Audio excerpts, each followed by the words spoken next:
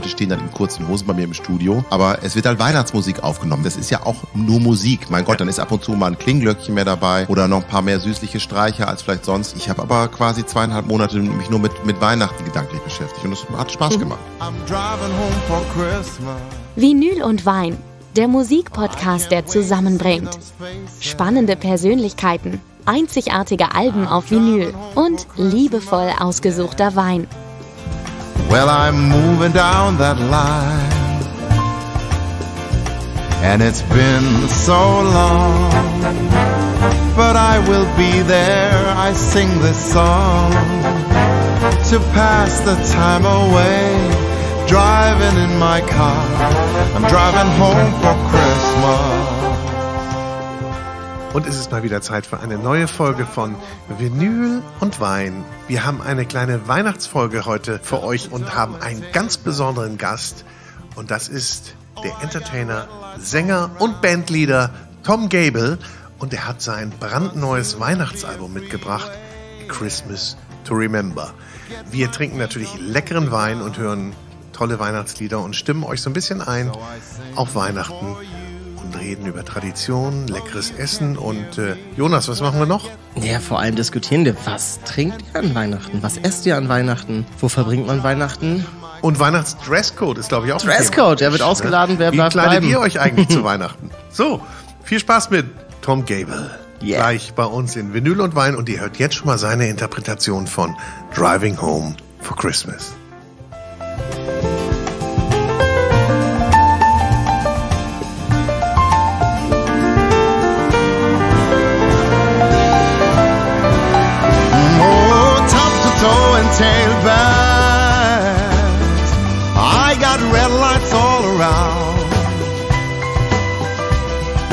Soon there'll be a freeway, yeah, to get my feet on holy ground.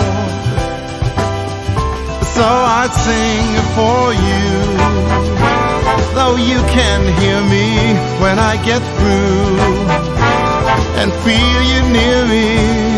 I'm driving in my car. I'm driving home for Christmas. Driving Home for Christmas von Tom Gable und er ist direkt zu uns gekommen. Herzlich willkommen, schön, dass du da bist. So Ja. kurz vor Weihnachten. Hallo, ich freue mich sehr. Wir freuen uns auch sehr. Ist noch ein bisschen hin bis Weihnachten, aber wir kommen so langsam in Stimmung mit Es deiner wird kalt Musik. und kälter. Ja, kleines Bäumchen haben wir schon hier. Kann mal einer die Glocken läuten hier? Es klingt, glaube ich, schöner, als es äh, aussieht, aber du hast dir, glaube ich, ich nehme an, du hast dir große Mühe gegeben. Es ist ein sehr kleiner Baum mit verhältnismäßig sehr großen Glocken da dran. Kannst du doch so jetzt aber so ist es sagen. beim Podcast halt. Ne? ja, aber dass du das so gleich so aufdeckst, so schonungslos. so, Bist du so ein schonungsloser? Schonungs nur nicht zu mir selber natürlich. Also schonungslos ehrlich zu mir selber nicht. Also Nein. du kannst aber austeilen. Ach, nee, nur aus Spaß. Aber mal was anderes. Ich habe gedacht, also Driving Home for Christmas von jemand anderem außer Chris Rea kann man eigentlich nicht hören und will man eigentlich nicht hören. Ich wurde eines Besseren belehrt. Vielen Du Dank. wolltest es nicht hören, aber du konntest es dann doch. Es ging Ja, irgendwie. ja, Ja, du bist durchgekommen. gedacht, wir- wir mich. probieren's mal Ja. und, äh, Es großartig. Ja, ich finde es Ganz funktioniert toll. auch schön, ja. Es ist auch insgesamt ein schöner Song. Und das, das Schöne ist, ähm, das ist bei Weihnachtsrepertoire, merke ich das immer wieder, äh, schöne und gute Songs, die kann man auch in, in andere Stilistiken überführen und die funktionieren dann immer noch. Es ist ja auch immer so, man hat ja auch diese eine Erinnerung, finde ich immer, an so einen Song und äh, so, so Bilder auch. Und ich hatte auch immer Chris Rea so vor Augen und durfte auch früher mit Chris Rea zusammenarbeiten, aber wie gesagt, es gibt dann auch neue Bilder. Man kann die Bilder auch mal übermalen. Ne? Ja, oder, oder einfach daneben hängen. Ja. Ja. Oder daneben hängen. Ich freue mich, dass du dein neues Album heute mitgebracht hast. Ja. Weihnachtsalbum. und danke. zwar A Christmas to Remember. Und ich glaube, das wird heute eine Podcast-Episode to Remember. Auf jeden Fall, weil es für dich wahrscheinlich das erste Mal ist, dass du einen englischen Schaumwein trinkst. Ich äh, gehe schwer davon aus. Ich wusste nicht mal, dass es englische Schaumweine gibt. Ich wusste nicht, dass es englische Weine gibt. Ich erwarte auch sehr wenig, aber vermutlich. Aber ich nehme an, wir haben einen Sommelier ich- hier also sitzen. Äh, ich wollte jetzt sagen, mir sage ich nicht. Ich, Ja. äh, mein Wissen geht auch nicht viel weiter als über die Herkunft. Ja, grobe Herkunft. Jonas. Ja, äh, welcome. Weihnachtsfolge, Podcast, äh, Schaumwein natürlich immer ein großes Thema, gerade zu den Festtagen. Ähm, jetzt ist es natürlich so, dass natürlich immer Champagner getrunken wird, Cremant, vielleicht noch Franciacorta oder Sekt. Äh, aber Südengland haben wirklich noch die wenigsten auf dem Schirm. Ist auch noch relativ neu. Das Ganze hat vielleicht so vor 10, 15 Jahren angefangen, dass man dort angefangen hat, Spielweisen von Schaumwein herzustellen. Äh, noch einen Namen gibt's da noch nicht wirklich von, deswegen nennen wir es einfach mal englischen Schaumwein. Ähm, der Hintergrund ist so ein bisschen der Boden. Äh, du hast in Südengland dieselben Böden wie in der Champagne, nämlich dieses alte Kalk, Kreide, Muschelkalk äh, Untergrundsbecken. Und dadurch hast du eigentlich ideale Bedingungen für Schaumweine. Jetzt ist es in Südengland natürlich noch mal um einiges äh, nasser, kühler, kälter als in der Champagne, aber so ein bisschen durch das Thema äh, Klimawandel wird es dort langsam in Temperaturen übergehen, dass man doch Schaumwein herstellen kann. Und das ist jetzt aus äh, der Region um Hampshire. Das Weingut heißt Cold Sincerely. Wir haben den Rosé Brüt im Glas. Ich würde gerne mal mit euch anstoßen. Ja. Schön, dass du da bist, Tom. Ich freue mich auch. Ach, man kann das nicht sehen, aber das ist wirklich ein Rosé. Allein schon von der Farbe ist das unglaublich schön. Ganz sanft, ganz elegant. So ein bisschen dieses leichte Lachsrosa. Schmeckt auch Ähm, wirklich sehr, sehr ne? angenehm, ja. Unglaublich frisch. Ich finde den sehr gut und ich glaube, so kann man auch so ein kleines Weihnachtsdinner ganz gut beginnen. Was kann man eigentlich servieren an Weihnachten? Kochst du eigentlich? Nee, ich bin eher, wie heißt das, ein Zubereiter, also so Kleinigkeiten Mise en zubereiten. Das kann ich so. Aber richtiges Kochen nicht. Ja, vorbereitet. Also wir haben Gott sei Dank einen Bruder äh, in der Familie, der das Kochen an sich gerissen hat. Äh, der kann das auch so gut. Der ist eher so der gut bürgerliche Koch, würde ich sagen. Aber bei uns ist das auch Tradition an Weihnachten. Da gibt's so die Klassiker in Westfalen. Ja? Was man so. Soll ich schon erzählen? Was sind denn du- Klassiker? hau raus, glaub, raus. Man, man hört Noch nicht immer alles, aber Kartoffelsalat und, und Würstchen. Das ist ja tendenziell, also Kartoffelsalat von meiner Oma kann ich auch. Das ist eins dieser Rezepte, die uns sehr wichtig waren. Die sind über die Generation tatsächlich, hat mein Bruder sich irgendwann mal hingesetzt mit Oma, Oma, erzähl doch mal, äh, wie geht dein genialer Kartoffelsalat und wie gehen, äh, wie ist deine geniale Bohnensuppe und so ein paar Rezepte und dieses Spritzgebäck und so, das haben wir bewahrt. Meine Oma lebt natürlich schon lange nicht mehr. Äh, Und das machen wir, das kann sogar ich auch. Und die, gut, die Würstchen, die werden natürlich nur zubereitet. Also da, aber der kann auch so auch noch Schnitzel und Frikadellen und alles mögliche. Ah, naja gut, aber wir gehen da nochmal tiefer rein. Ja. Also das klingt aber schon mal ganz gut. Ähm, wir haben heute nur was zu trinken und so ein bisschen, ja was, zum Schnabulieren nebenbei. Ja, sehr gut auch. Aber ähm, Weihnachtsgebäck fehlt leider. Ja, leider. Ich, ich habe es mir tatsächlich, ich habe das Weihnachtsbecken, das war immer meine Sache. Ich habe immer äh, äh, Spritzgebäck zu Weihnachten gemacht und leider bin ich auch der selbst der größte Spritzgebäckesser. Deswegen habe ich letztes Jahr zum ersten Mal nicht gemacht. Ich habe sonst immer drei riesige Dosen, äh, einfach was so zwei Kilo Mehl und was was ich. Dann ist das ja wirklich, das ist ja Wahnsinn, was da reinkommt. Ein Kilo Butter, das sind ja äh, Proportionen ne, beim Backen.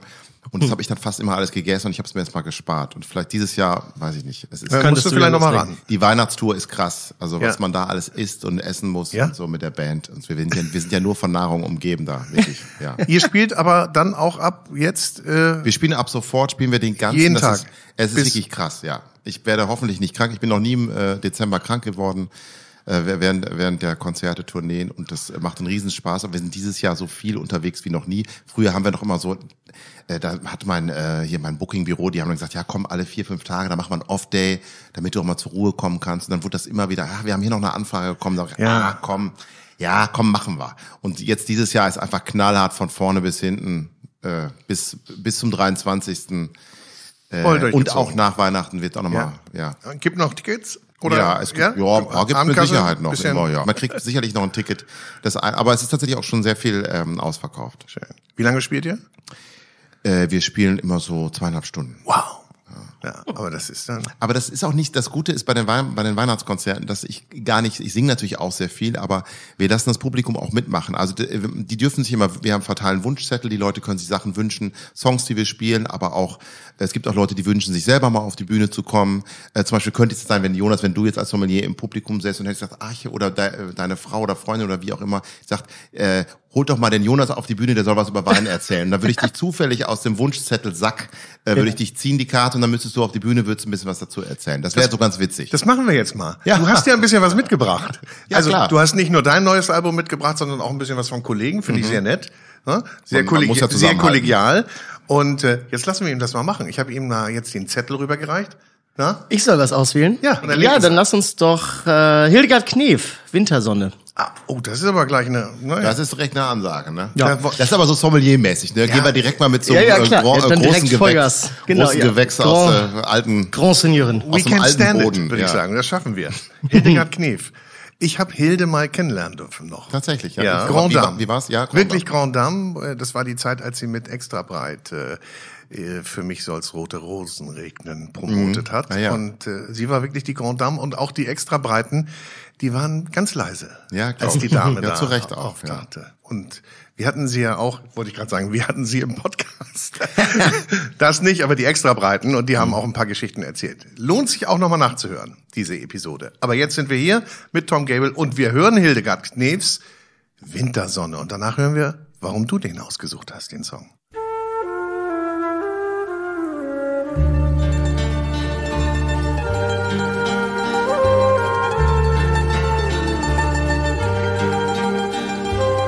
Wintersonne über weißem Land, kalte Wintersonne, hast die lange Nacht verbannt. Wintersonne, halt den Mond zurück, lass die Sterne warten Schenk mir einen letzten Blick, denn die Nacht weckt meine Sorgen, die Sorgen um dich. Und zu lange gibt's kein Morgen, kein Morgen für mich. Wintersonne,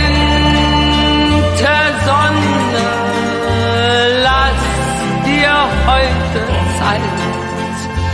Lass die Nacht Gedanken, viele Glockenschläge weit.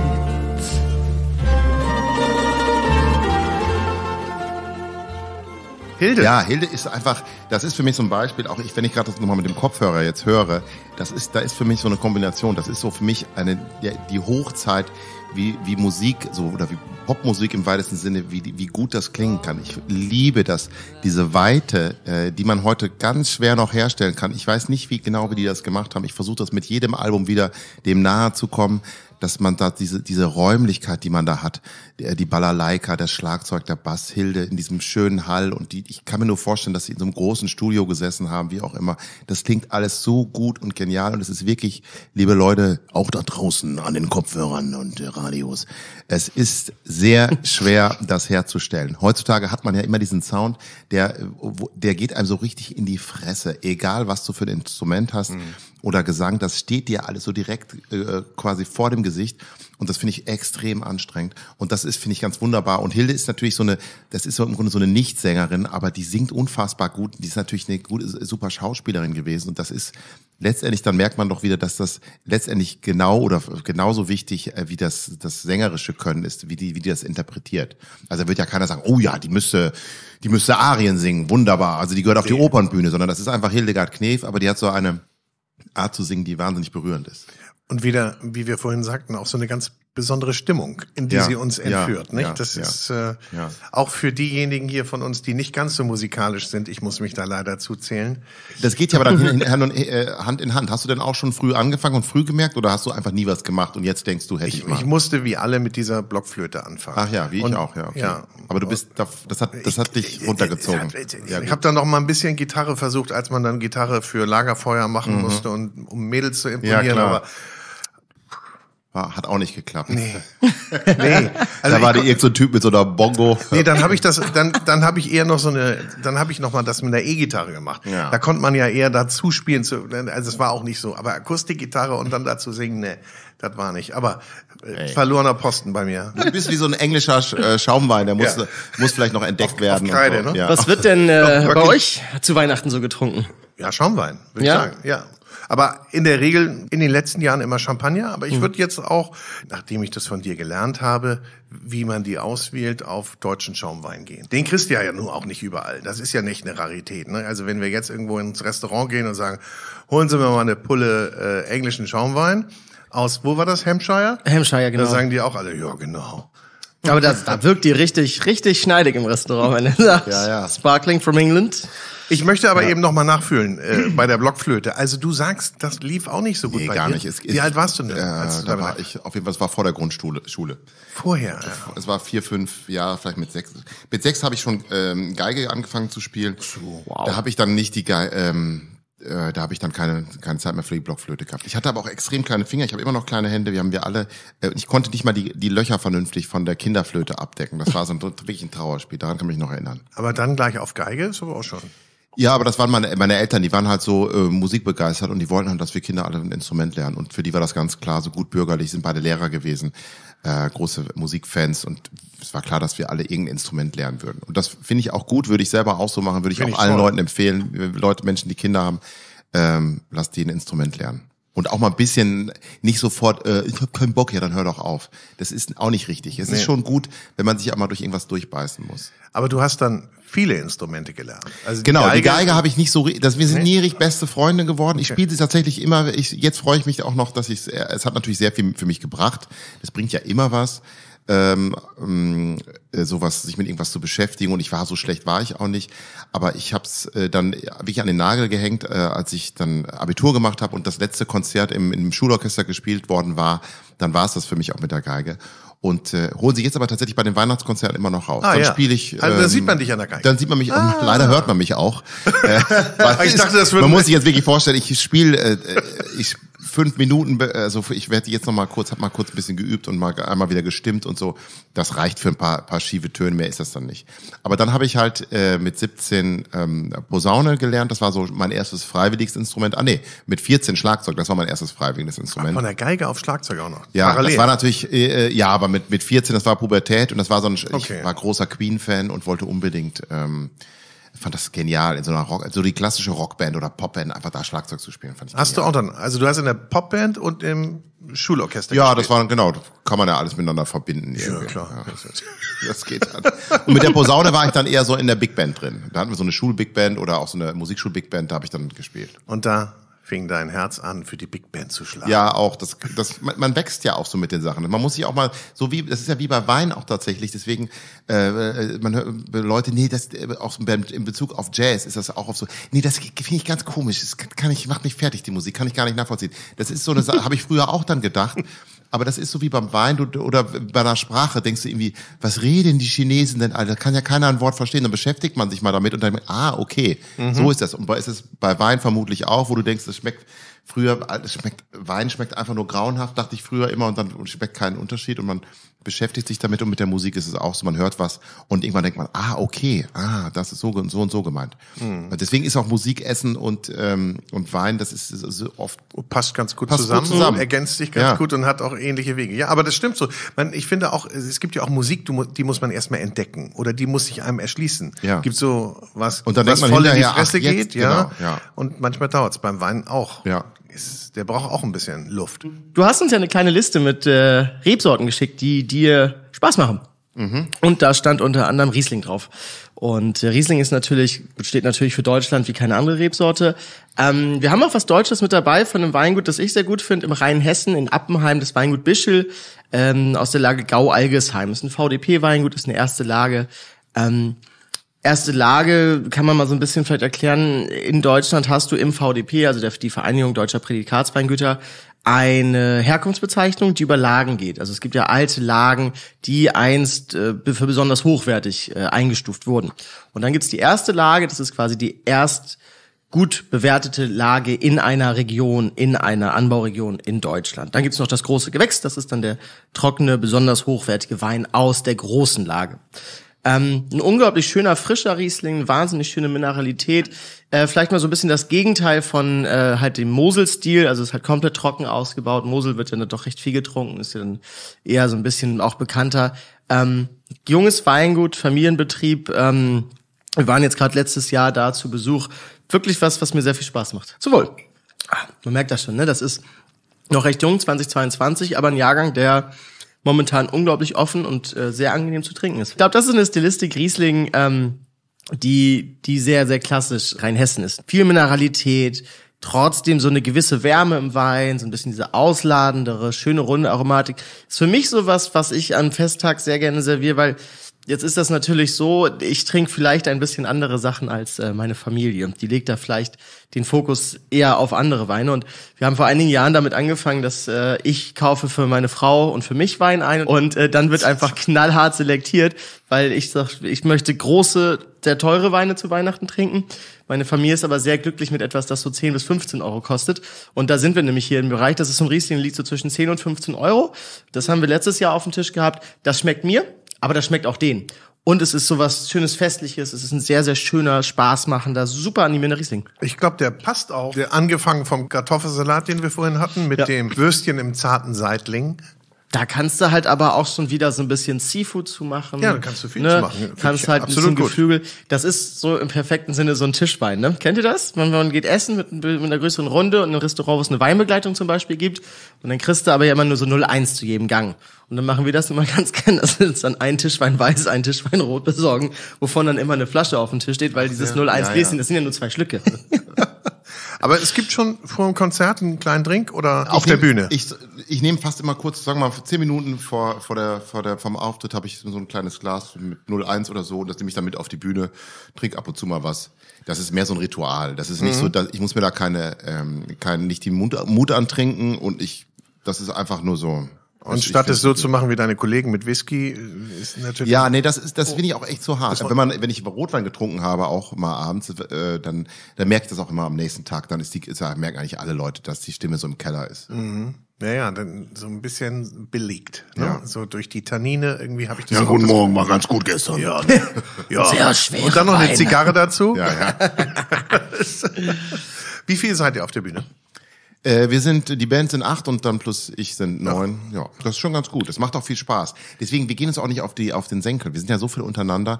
Wenn ich mir vorstelle, dass man mit so einem, mit einer kleinen Band ist und so Bands, die verstreiten sich ja gerade, wenn es auch noch Brüder sind oder so, ähm, äh, die verstreiten sich immer nach ein paar Jahren, weil die so dicht alle immer aufeinander hängen. Oder die schaffen es dann irgendwie wie so große Bands, die kommen alle in unterschiedlichen Flugzeugen an zum Konzert. Ja. Äh, aber wir sind alle, wir, wir haben immer wieder die Möglichkeit, uns neu zu gruppieren und dann hat man mal die Geschichte schon zum hundertsten Mal gehört und dann geht man mal wieder in die Gruppe und dann hat man was Neues und so. Das ist eigentlich ganz gut. Wo du das gerade sagst, war das nicht bei den Eagles so, die sogar mit unterschiedlichen Fahrzeugen zur Bühne gefahren wurden? ist das, kann sein, ja, ja. Hell freezes over. Ja, äh, Musik? Wollen wir Musik Ja, hören? gerne. Was hast du uns denn noch Schönes mitgebracht? Soll ich wieder auswählen? Wollen wir das Risiko eingehen? Das war nicht schlecht bisher. Wa- Also. Ja gut, dann machen wir doch jetzt einfach mal was ganz Klassisches und äh, hauen eine Runde Michael Bublé rein, oder? It's beginning to look a lot. Like Christmas.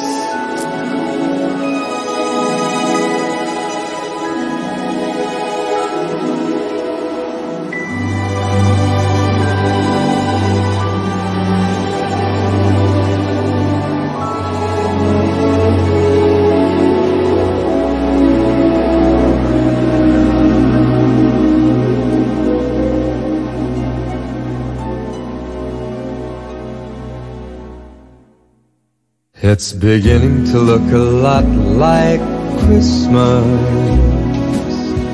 everywhere you go. Take a look at the five and ten, it's glistening once again with candy canes and silver lanes that glow. It's beginning to look a lot like Christmas toys in every store.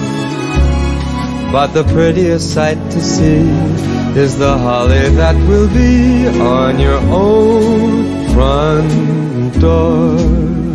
A pair of hop-along boots and a pistol that shoots is the wish of Barney and Ben. Dolls that'll talk and will go for a walk is the hope of Janice and Jen. And mom and dad can hardly wait for school to start again. It's beginning to look a lot like Christmas. Everywhere you go, there's a tree in the Grand Hotel, one in the park as well. It's the sturdy kind that doesn't mind the snow. It's beginning to look a lot like Christmas. Soon the bells will start. And the thing that'll make them ring is the carol that you sing right within your heart.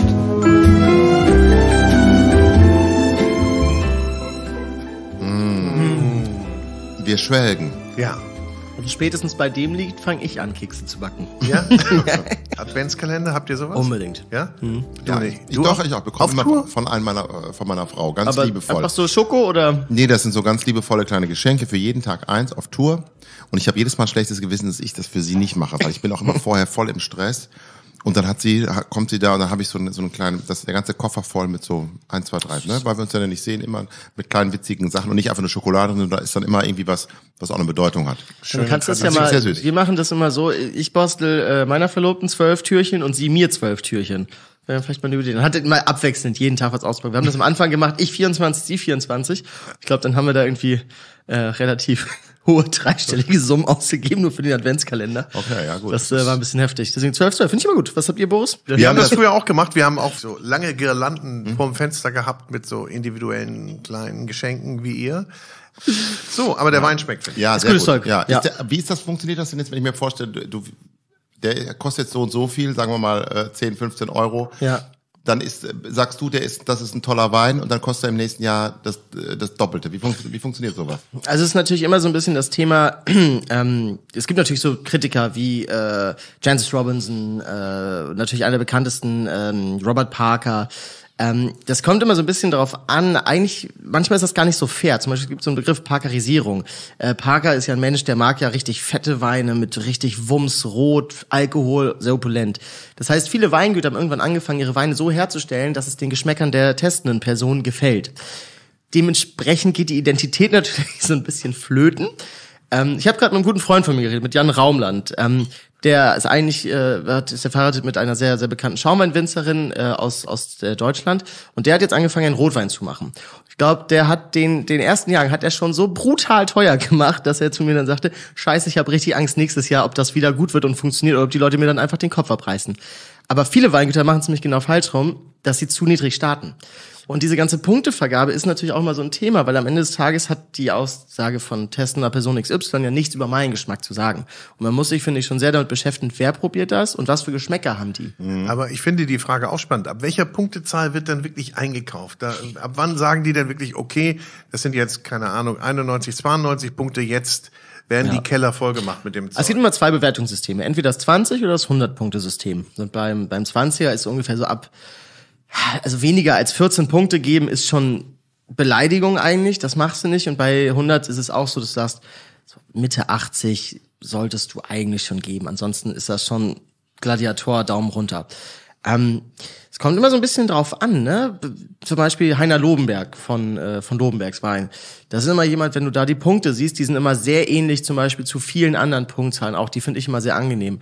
Weil das ist ein sehr, sehr, sehr natürlicher Verkoster. Den finde ich immer ganz gut, die Punkte. Und wenn jetzt was da so 90 Punkte hat, kann man sich da schon mal so das eine oder andere Kistchen ähm, mal in den Keller stellen, finde ich. Testen die wirklich selber oder haben die dann auch Da haben den, Tasting-Teams. Genau, haben auch aber wie viele, wie viele Weine pro Jahr werden da mit, Park, mit Parkerpunkten ver... Also es gibt immer einmal im Jahr so ein Foto von diesen Verkostungen, was zieht sich da, das ist brutal, da stehen halt schon einfach zehntausende Flaschen Wein, ne? Ah, okay. Ja. Okay. Das ist ein Unternehmen sozusagen und der hat, der leitet seine Leute, die für ihn verkosten. Nee, der hat quasi mit verkostende Person für Länder und Regionen. Also es gibt dann zum Beispiel Person XY, die ist zuständig für Robert Parker Weine aus Deutschland zu verkosten. Und die Ergebnisse werden dann nach Amerika weitergeleitet und dann irgendwie analysiert und rausgebracht. Der probiert jetzt wahrscheinlich nicht selber jeden Wein auf dieser Klar, Welt. aber das heißt, die, äh, d- da- die Leute, die, die, die haben dann auch schon diesen Geschmack von Parker, weil die von Parker ausgesucht werden, weil du sagst, Ja, also der die- Parker hat so genau. eine bestimmte... Es gibt also ein Tasting-Sheet, Ja, okay. was, was halt gut Wie ist. du das zu beurteilen hast. Genau, wie du deine Meinung selbst wegstellen solltest. Also es gibt halt immer, also du kannst es mir überlegen, also es wird eigentlich fast jeder Wein dieser Welt wird eigentlich jedes Jahr gekostet. Jetzt vielleicht nicht jedes Weingut, aber halt jedes Weingut, das eine gewisse Pre- Prestige hat, das äh, Ruf hat. Und es gibt ja so diese ikonischen Weingüter oder halt Weine. So, und dann gibt's halt zum Beispiel jetzt letztens ganz großes Thema, irgendwie Rügener Veltliner aus Österreich hat dann mal 100 Parker-Punkte bekommen. Hat es noch nie vorher gegeben. War es ein Erlebnis. So, also das ist schon immer, es wird schon sehr, sehr wahrgenommen in der, in der Branche, diese, diese Punktesysteme doch. Und dann gibt es natürlich auch einige, die dann wahrscheinlich Weine auch versuchen nachzumachen. Du kannst ja, den Wein ein bisschen pimpen. Da sagt man dann nicht, ich habe irgendein Vorbild, sondern ich habe was kopiert. Und das hoffentlich funktioniert ja, merkt es ne? keiner. Ja, ja. Es gibt ja diese, diese ganz berühmten äh, Fälscherskandale von Wein. Ne? Also ein Herr, der hat in Amerika damals äh, Weine gefälscht im großen Stil. Der hat in seinem Keller in Badewannen Weine gefälscht, die er teilweise für sechsstellige Beträge verkauft hat. Und man munkelt, es gibt wohl noch so die 20, 30.000 Flaschen in Kellern und Aber dann nicht gefälscht in dem Sinne, dass sie wirklich so ähnlich schmecken, sondern einfach mehr oder komplett weniger. gefälscht. So gut gefälscht, dass einige der berühmtesten äh, Weinverköstenden Personen dieser Welt diese Weine als echt Ach so, deklariert haben. Also Gut, das dann war sind's ja, schon- aber dann können es ja auch keine schlechten Weine, dann ist es ja Nee, wirklich nee. nur noch die Idee. Genau. Die- Aber klar, du kannst Weine natürlich so weit hingehend beeinflussen durch Lesezeitpunkt, äh, Schwefelung, äh, Ausbau, äh, etc. etc., dass halt ein Wein eine gewisse Aromatik mitbringt. Ne? Also wenn ich jetzt sage, ich hau das Ding in ein neues amerikanisches Eichenholzfass, dann wird das halt am Ende des Tages wahrscheinlich ein paar mehr Parkerpunkte kriegen, als wenn ich sage, ich baue das in einer äh, georgischen Amphore aus. Wie im Studio, wie das Aufnahmematerial tatsächlich, ne? ja, ja. und, und, und wir waren jetzt Instrumente. ja, wir waren ja im Sommer. Das ist ja das Witzige im Sommer. Äh, äh, wir ist bei uns dann. Wir haben gerade oder ich habe ein Weihnachtsalbum rausgebracht, ja, und das wird im Sommer aufgenommen. Das ist so wie, weiß ich auch nicht, so wie wahrscheinlich die. No, ja, wie die Herbstkollektion wird auch im Sommer äh, oder im Frühjahr äh, entworfen und das ist dann die Leute finden das immer witzig, aber es ist einfach so. Bei uns, bei, bei mir war den ganzen August lang äh, war Weihnachtsstimmung. Wie inszeniert ihr das dann? Also das Ganze fängt einfach an, dass ich, äh, dass wir grundsätzlich haben wir die Idee, so wir machen oder ich habe die Idee oder wir, wir im Team, lass uns mal wieder ein Weihnachtsalbum machen. Ich habe ja schon tatsächlich zwei, Ja, ja. aber ich liebe ja auch Weihnachten und in den ganzen allen Jahren. Uns kommen immer wieder so viele Weihnachtslieder, die man auch noch nicht gemacht hat. Das macht mir einfach auch Spaß, mich mit diesen Sachen zu beschäftigen. Und dann haben wir überlegt, okay, das war so ungefähr vielleicht im Mai oder im Juni. Wir machen noch mal, wir machen, lass uns mal wieder ein Weihnachtsalbum machen. Dann habe ich so im, im Juni, Juli habe ich so Songs rausgesucht, auch ein paar Songs selber geschrieben. Ähm, dann wurden die arrangiert, ein bisschen, dann haben wir so kleine Demos gemacht und so. Ich habe mich ans Klavier gesetzt und ab August ging es dann los mit dem Aufnehmen. Dann ist einfach da war jetzt nicht groß, ich habe jetzt keine großen Tannenbäume gekauft und so au- aufgestellt. Äh, Das muss dann, die Musik muss sich tragen, die Leute stehen dann in kurzen Hosen bei mir im Studio. Aber es wird halt Weihnachtsmusik aufgenommen. Mit Weihnachts, das ist ja auch nur Musik. Mein Gott, dann ist ab und zu mal ein Klingglöckchen mehr dabei oder noch ein paar mehr süßliche Streicher als vielleicht sonst.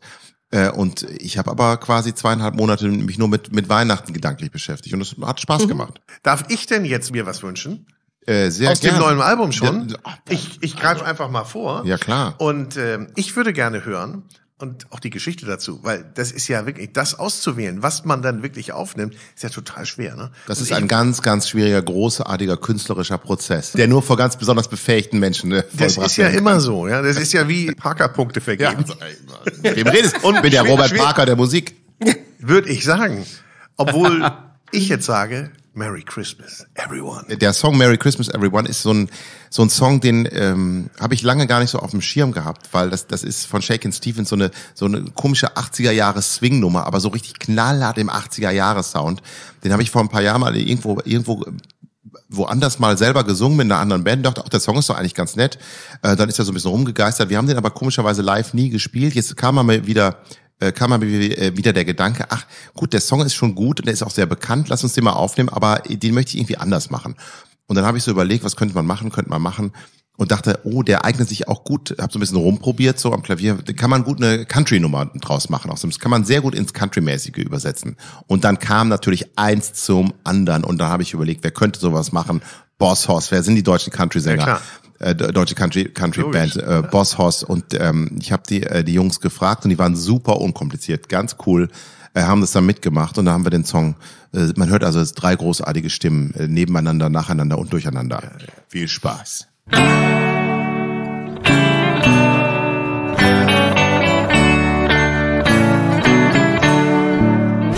Snow is falling all around me. Children playing, having fun. It's the season, love and understanding. Merry Christmas, everyone. Time for parties and celebrations. People dancing all night long. Time for presents and exchanging kisses. Time for singing Christmas songs. We're gonna have a party tonight. I'm gonna find that girl underneath the mistletoe. We're kissed by candlelight. Rumors swing, records playing, all the old songs we love to hear. All I wish that every day was Christmas. What a nice way to spend the year.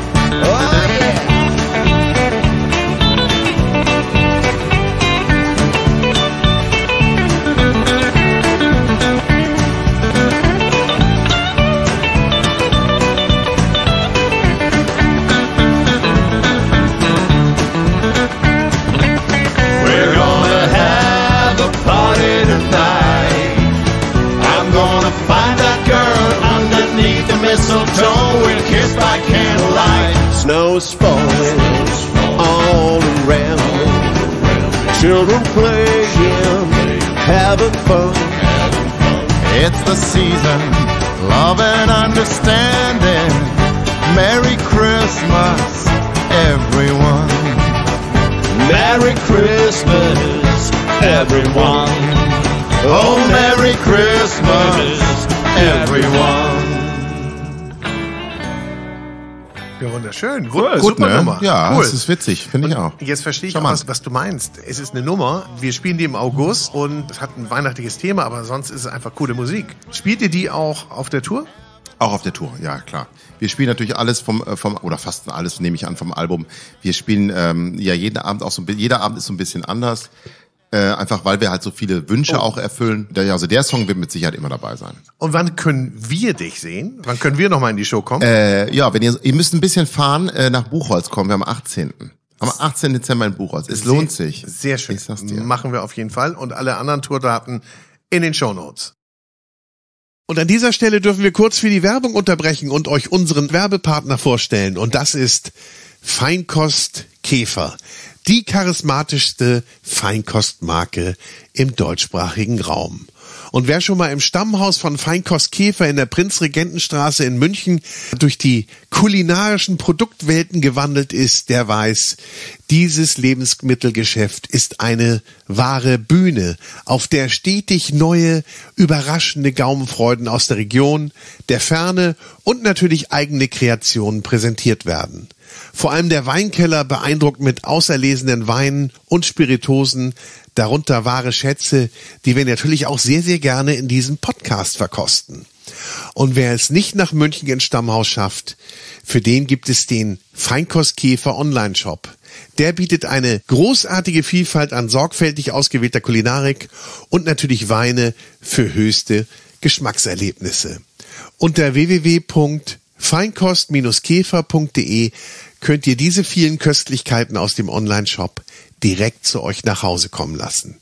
Also viel Spaß beim Entdecken der Käfergenusswelt unter www.feinkost-käfer.de Feinkost Käfer. Die charismatischste Feinkostmarke im deutschsprachigen Raum. In den Shownotes. Dürft ihr euch nicht entgehen lassen. Was wir uns nicht entgehen lassen, ist jetzt mal zu hören, wann bist du das erste Mal aufgetreten? Das war das erste Mal überhaupt war mit Sicherheit äh, war das in so, einem- in so, ähm, so einem kleinen Musikschulorchester für die Mini-Geige. Da waren wir dann so quasi nur die quasi gerade die Geige halten konnten, haben so, ein- haben so ein bisschen was. Es muss grauenhaft gewesen sein, wenn ich ehrlich bin für die. Für, die- aber es sind dann nur Eltern natürlich und äh, die man die fiedelt sich was zusammen und ich fand es natürlich großartig Ja. alle. Das Und- aber schon ganz, da war ich schon ganz ganz jung.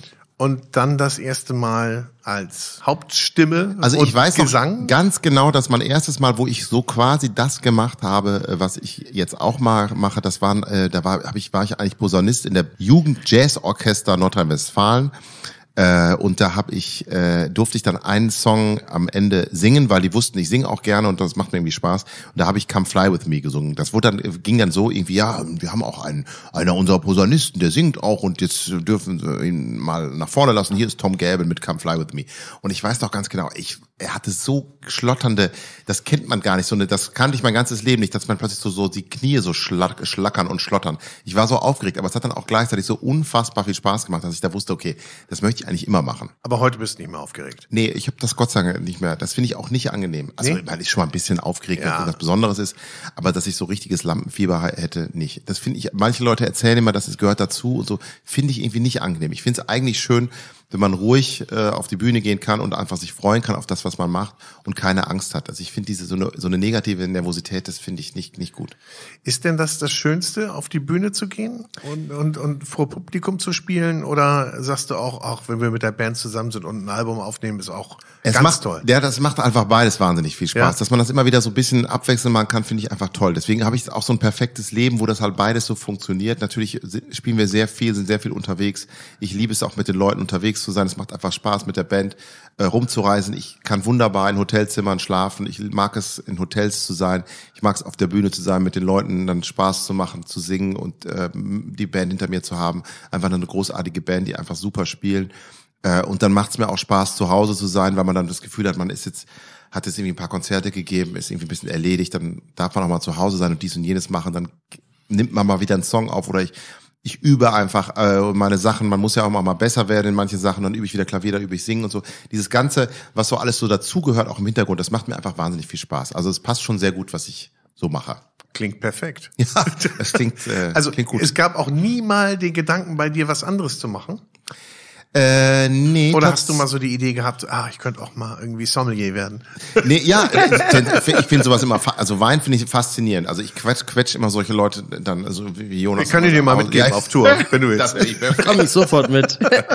äh, apropos Wein, ihr habt schon wieder was Neues im Glas. Du hast noch eine Rebsorte in deine Wunschliste geschrieben oder in deine Möglichkeitenliste, die mir sehr gefallen, nämlich die Scheurebe.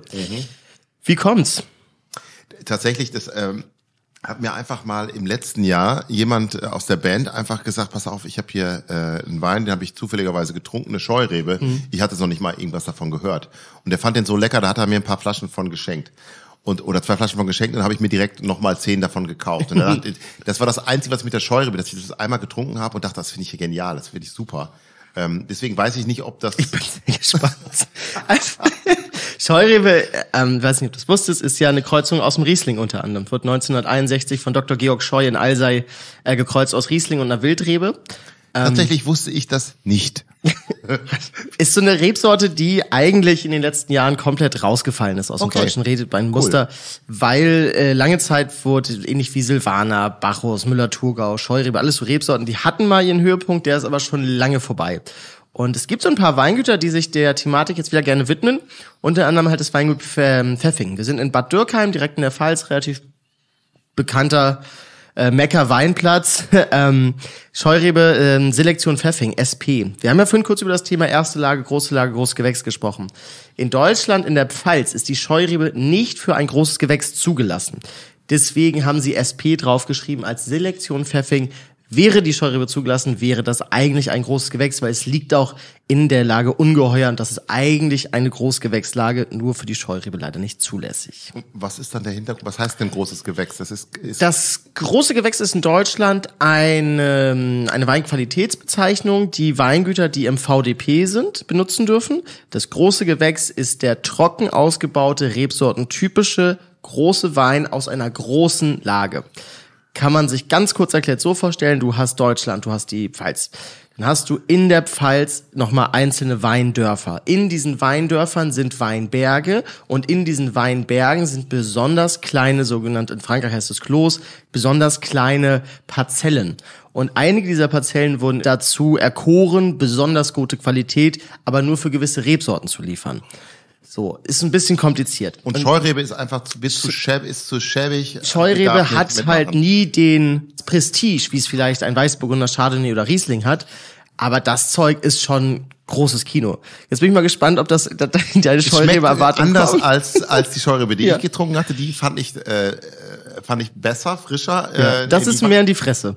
Das ist ja, das ist schon Ja. so, ein, so, eine, so ein Ding. Ja, das ist schon Da keine Wumme. Da stellt man sich so auf die Zunge drauf. Ja, unglaublich spannend halt hier zu sehen, was eine Textur das mitbringt, ne? was du halt sagst. Das ist richtig pressevoll Geschmack, viel so diese reife Exotik, so ein bisschen diese Mango, Maracuja, Ja, Stimmt. Wir hören jetzt noch Musik. Ja, gerne. Oder bin ich zu schnell jetzt mit der Nee. Musik? Ja, komm, dann machen wir doch jetzt mal äh, The Baseballs, Rocking Around the Christmas Tree. Alright. Rocking around the Christmas tree at the Christmas party hall. A mistletoe hung where you can see every couple tries to stop. Rocking around the Christmas tree, let the Christmas spirit ring. Later we'll have some pumpkin pie and we'll do some caroling. You will get a sentimental feeling when you hear voices singing, let's be. The halls with boughs of holly. Rocking around the Christmas tree, have a happy holiday. Oh, everyone's dancing merrily in the new old-fashioned way. All right. A happy holiday.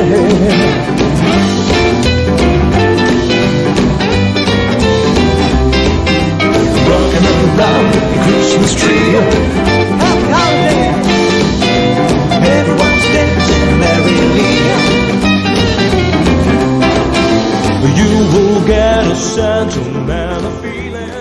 Geht aber rund hier.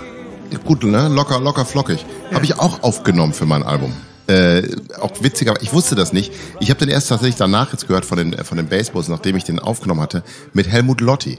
Helmut Lotti ist ja auch, der, der, der, ich, da habe ich, glaube ich, gerade in den Niederlanden studiert, Posaune noch, das Ja. war so 97, da ist mir der Name das erste Mal begegnet. Da war Helmut Lotti ja die, mit seinen ersten riesigen Alben, da was war da Helmut Lotti in Afrika. Das war so Ende der 90er, Genau, stimmt, Classics riesig. One, eine riesen Nummer auch. Äh, und den, den habe ich dann immer mal wieder auch mal im, im Fernsehen gesehen, auch hab den auch mal ein paar bei, bei Sendungen mal getroffen. Äh, und ich hatte jetzt irgendwie das Gefühl, äh, das wäre doch mal witzig, weil ich wusste, dass der ja auch so als Elvis Elvis Sänger angefangen hat für diesen für diesen Song. Äh, ich habe also ich habe so eine, quasi ein, El- ein, Medley gemacht so aus zwei zwei von diesen Songs, Rockin' Around the Christmas Tree, was wir gerade gehört haben, und Jingle Bell Rock, so zwei zwei Rock'n'Roll Songs. Da habe ich dann so ein bisschen Twistartiges Medley gemacht, die so zusammengepackt und dachte, das wäre auch noch ein schönes Duett eigentlich. Und da dachte ich, ach, bei der Stimme und so, weil ich ihn ja auch kenne und weil das ein netter, witziger Kerl ist, fragst du einfach mal Helmut. Und er hat es dann auch möglich gemacht. Es war echt super witzig. Er ist zu mir ins Studio gekommen, ich habe ihn dann selber einfach aufgenommen und so. Ähm, das war, war, war ein witziger Nachmittag. Ein Sonntagnachmittag, da ist er vorbeigekommen. Hatte sich gerade ein neues Auto gekauft und hat es zum ersten Mal äh, ausgefahren. Das passt ja, doch. Das war doch herrlich. Für uns beide. Cool. Und da ruft man einfach Herrn Lotti so an? Ja, über? Verbindung. Man Ja. hat ja so die Verbindung ins Ja. Musikgeschäft.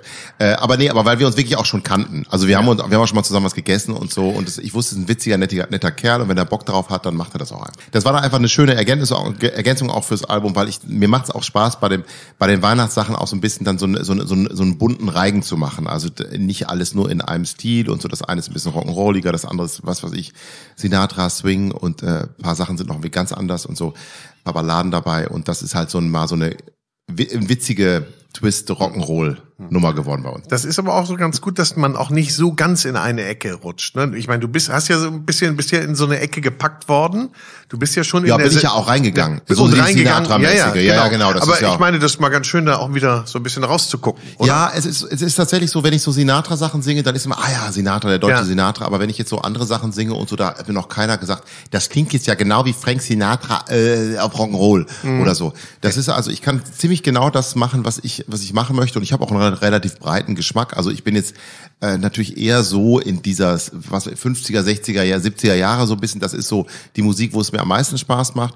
Ähm, und da bin ich so, aber da kann ich auch sehr viel machen. Da singe ich auch Sachen von Tom Jones oder wir probieren alles Mögliche aus und so. Und das ist, das ist schon toll. Also ich, deswegen bin ich so ein, deswegen siehst du, ich weiß nicht, ob man sehen kann, man sieht einfach einen glücklichen Menschen. Das, was Weihnachten auf den Tisch kommt, muss auch gegessen werden. So. Wird das bei euch im Kollektiv eigentlich entschieden oder entscheidet eine Person, was es Ähm, wir haben es gab, trinken gibt? also ich kann mich an meine Kindheit erinnern, da war das, äh, auch als meine Oma noch lebte, da war es ganz klassisch, da gab es immer nur Omas Kartoffelsalat und Würstchen. Und äh, das haben wir jedes Jahr so gegessen. Das war auch immer irgendwann gut. Man ist meine Oma irgendwann gestorben. Vielleicht war es auch schon mal vorher. Da hat meine Mutter so ein paar Jahre lang so Experimente gemacht.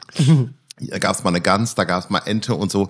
Ich habe das alles eh nie mitgegessen, weil ich so ein ganz kompliziert habe. Ich esse zwar auch Fleisch, aber ich, ich hab, esse nur das, was ich von seit frühester Kindheit kenne und auch möglichst abstrakt. Also wenn ich da so ein, so ein Tier noch erkennen kann, wie das da so mit den Flügeln, ehrlich? das kann ich schon nicht essen. Oh. Also so, so dieser Style. Ja. Deswegen konnte ich dann nie so, warte mal, ich heb mal eben den Flügel an und schneide dann ein Stück davon unten drunter. Das fand ich mal schon. Also ich habe nie in meinem Leben Gans und Ente gegessen. Ähm, äh, deswegen, ich weiß aber, dass es nicht gut ankam. Das war irgendwie, die Gans war trocken, irgendwas, dann gab's mal irgendeinen Schweinebraten mit Pflaumen oder irgendwie sowas. Wir sind dann irgendwann hat mein Bruder, hat mein Bruder das gesagt, Leute, das kann so, das kann, Weitergehen. das kann so Ich kann's nicht mehr weitergehen. Ich, wir gehen jetzt komplett, wir gehen zu, komplett zurück auf die Basics. Es gibt wieder Kartoffelsalat, den hat mein Bruder dann gemacht, äh, Würstchen und der hat das dann im Laufe der Jahre so ein bisschen aufgepimpt noch. Dann gab's noch äh, plötzlich Frikadellen und so kleine Schnitzelchen und sowas. Irgendwie so, es wird dann wieder so ein bisschen reichhaltiger. Aber so wirklich, also ein bisschen äh, Pommesbude an Weihnachten, so ein bisschen. Also es gibt keine Pommes, aber so, so wirklich sehr einfach. Zum fleischhaltigen Hauptgang wird passen, was jetzt im Glas ist. Aber auch ohne. Aber auch oh, definitiv. Ähm, ich habe mich so ein bisschen an dem einen Rotwein, den du uns geschrieben hast, da stand drin, du magst gerne Primitivo. Das wäre natürlich Italien. Da sind wir so ein bisschen wieder bei dem Thema. Ähm, Primitivo ist sowas, wo ich gerne Alternativen aufzeige, die in eine ähnliche Richtung gehen. Weil Primitivo den Markt so ein bisschen sehr überschwemmt hat in den letzten Jahren. Primitivo ist ja in der Regel so relativ schon gut, voluminös, kraftvoll, viel Frucht, bisschen, bisschen mehr Tension.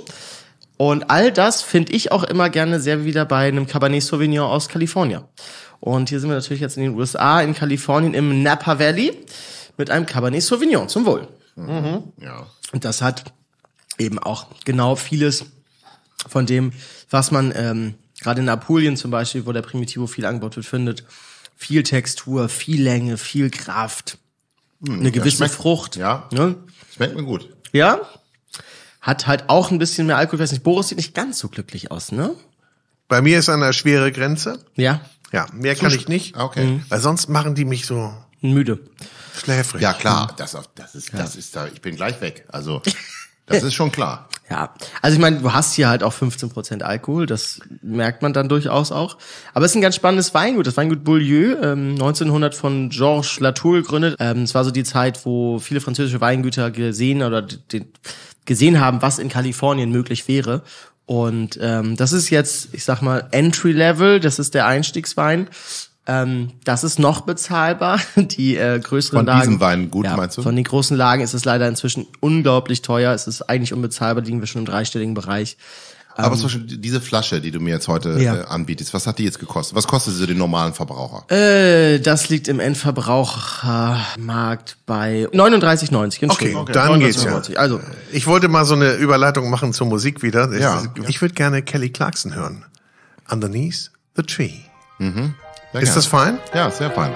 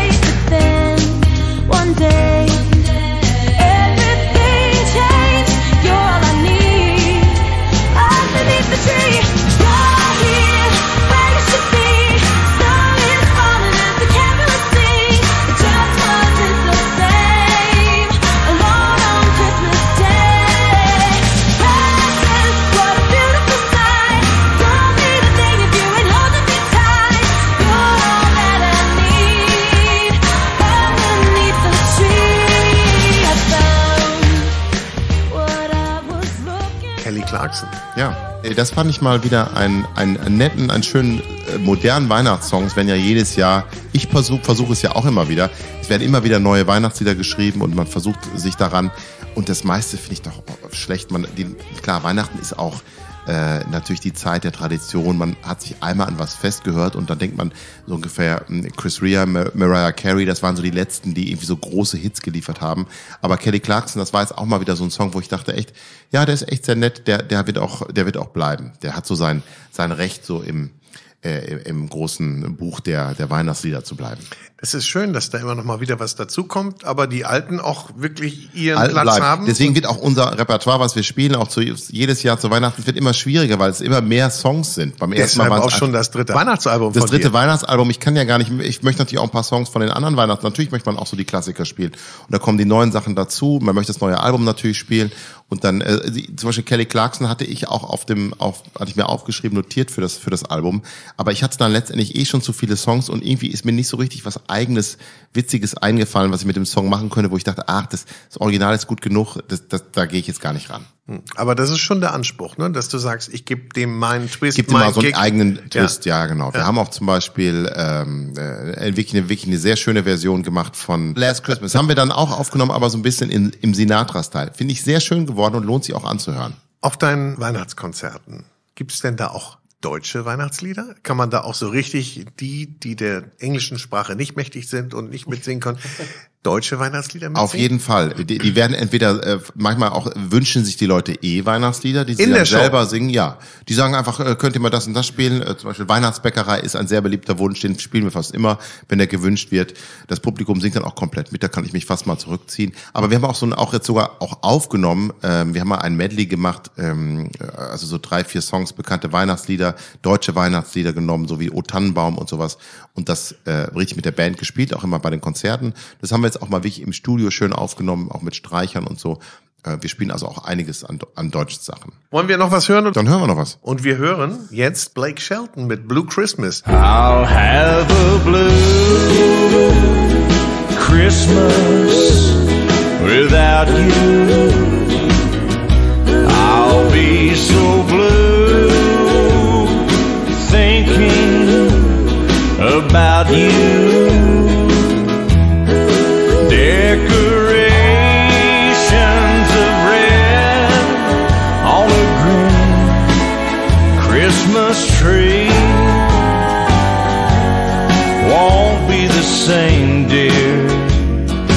canción.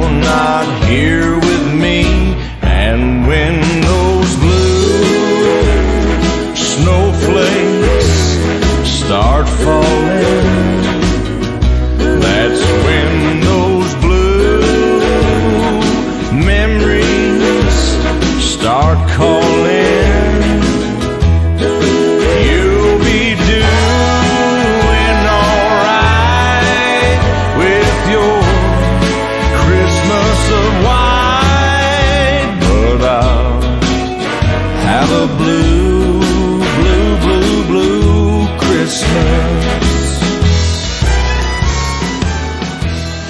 Auch eine ganz coole Nummer. Ich kannte die überhaupt nicht. Ja, doch, die, ich kannte die äh, von Elvis, weil äh, Elvis die auch Das gesungen ist hat. eine- ah. Ja, ja, ich weiß nicht, ob es original Elvis-Nummer ist, aber das war ein großer Hit oder ein Hit auch für, für, für- für Elvis. Und mein Bruder äh, war ein riesengroßer Elvis-Fan. Ähm, und deswegen kannte ich, der hatte alles von Elvis, deswegen kannte ich sowas natürlich auch. Und das spielen wir auch immer wieder so ein bisschen. Das ist übrigens der Song, wo ich die Geige raushole, die Country-Geige. Denn dafür reicht's noch so ein Ah, bisschen. das finde ich gut. Ja. Das finde ich gut. Und wie seid ihr denn gedresst auf der Bühne? Seid ihr ein bisschen weihnachtlich oder, ah, nee, du immer hier? Ja, wir sind Ne? eigentlich Im- tendenziell, wir haben so zwei unterschiedliche, aber man sieht uns auch, wir sind auch viel auch im Smoking unterwegs. Ja. Das Smoking geht ja auch immer zu Weihnachten. Ja, also ich meine, finde was ist weihnachtlicher? Smoking geht ja eh immer. Es gibt sicherlich den einen, vielleicht wenn du an, an, in die Strandbar gehst, wo jemand sagt, leicht overdressed, kommt auf den Strand an. Ich möchte an keinem Strand sein, wo man nicht im Smoking, sitzt, genau. Freunde. ja.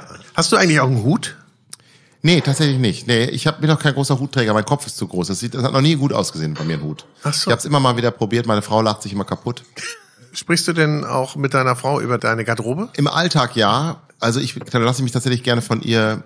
Äh, es ist, wir haben, es ist auch, ich bin manchmal auch so müde. Dann sagt sie wieder, sag ich, was soll ich anziehen? Ähm, Dann sagt sie, ja, guck doch, such, doch- such doch einfach mal selber was aus. Dann suche ich was selber aus und sage, nee, das natürlich nicht. Ja, okay, bitte, lass uns das doch mal nach all den Jahren, lass uns einfach abkürzen. Ich ziehe einfach genau das an, was du mir sagst, bitte. Ja. Du weißt es besser, sie weiß es aber wirklich auch besser als ich. Sie beschäftigt sich auch viel damit. Das ist tatsächlich nicht so mein Thema. Ich bin eigentlich wirklich froh, dass ich äh, auf der Bühne, dass wir den, dass ich den Smoking anziehen kann. Das sind so diese, so diese Klassiker. Da weiß man so. Deswegen bin ich beim Wein wahrscheinlich auch so. Äh, was trinkt man denn hier so und so, womit ist man sicher, weißt du? Dann, äh, dann das so, so ein bisschen Mhm. So ein Safe. Space. Ja, Ja, ja, voll. so ein Safe Space. Kann und der Smoking ist das Safe Space. Ja. Das, das, ich hätte gar nicht die, die, äh, die Energie und auch nicht, ich hätte auch nicht das Wissen jetzt irgendwie, oh, der Smoking total neu definiert und ich habe mir richtig Gedanken gemacht.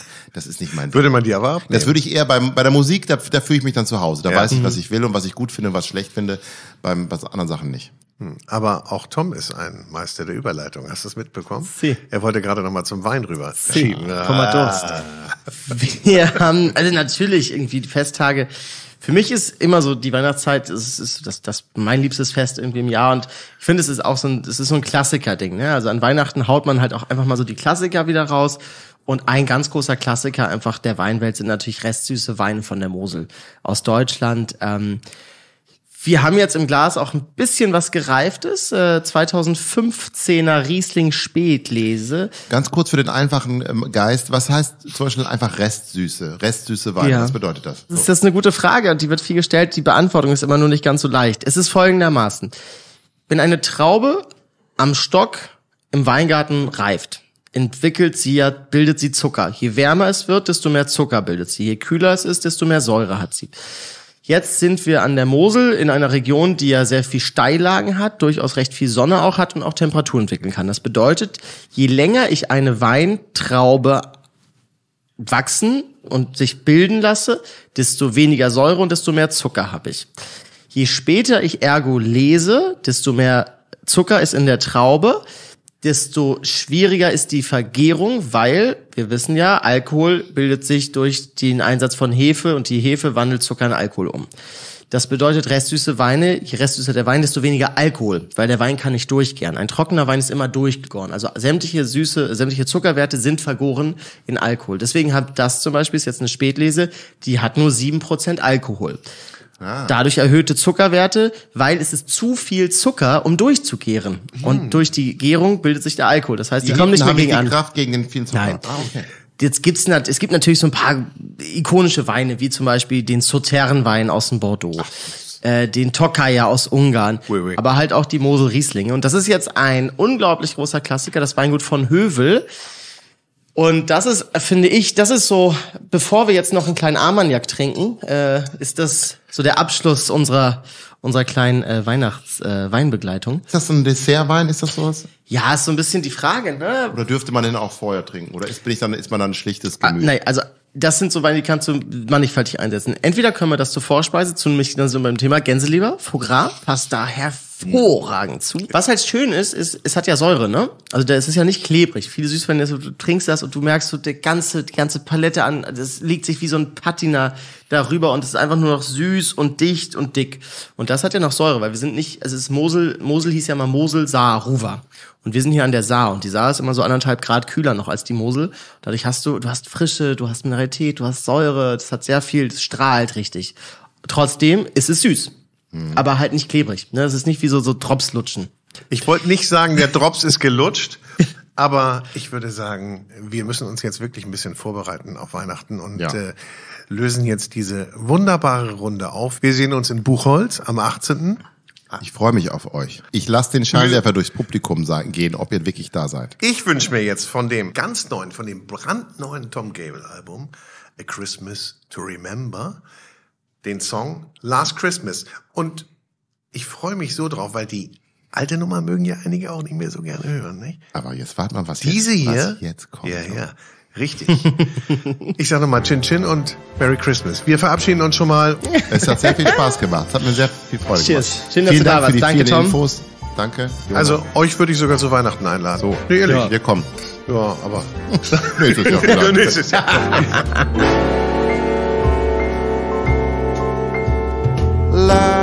Christmas I gave you my heart, but the very next day you gave it away. This year To save me from tears, I'll give it to someone special. Last Christmas, I gave you my heart. Die Weine, die wir heute getrunken haben, könnt ihr alle im Onlineshop von Feinkost Käfer bestellen. Schaut mal vorbei in der Prinzregentenstraße in München oder bestellt online unter www.käfer-online.de. So, und das war's dann auch schon wieder mit dieser Episode von Vinyl und Wein. Wir bedanken uns fürs Zuhören und wir bedanken uns auch ganz besonders bei der Weinbank Hamburg, dem exklusiven Club für Weinbegeisterte, dass wir hier heute zu Gast sein durften. Wir freuen uns, wenn ihr auch das nächste Mal wieder einschaltet bei Vinyl und Wein und in der Zwischenzeit liked uns, bewertet uns, kommentiert uns auf Apple, Spotify oder wo auch immer ihr uns hört und wir freuen uns natürlich auch über eure Anregungen und Ideen. Bis dahin, tschüss, servus und bye bye. I love you, I meant it. Now I know what a fool I've been. But if you kissed me now, I know you'd fool me again. Last Christmas, I gave you my heart, but the very next day, you gave it away. This year, to save me from tears, I'll give it to someone special.